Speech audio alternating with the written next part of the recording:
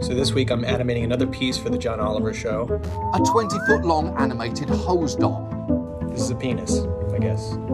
I got a call last night. They asked me to animate John's penis, and of course, how could you how could you say no? Essentially, they want this thing to look like a really long, wiggly suit. Now I got to shoot some pics of this and then bring them into Photoshop for animation prep. He has a suit and glasses just like me. I'm using the puppet tool in After Effects to do some basic movements and wiggles, but for the more intricate positions, I'm actually redrawing this in Photoshop frame by frame. Look, he can wiggle, he can show off his muscles, he can even make penis animals. Oh, a giraffe, fancy boy. And he can become a limp worm, which I, I will admit is well within the wheelhouse of most penises. Goodbye.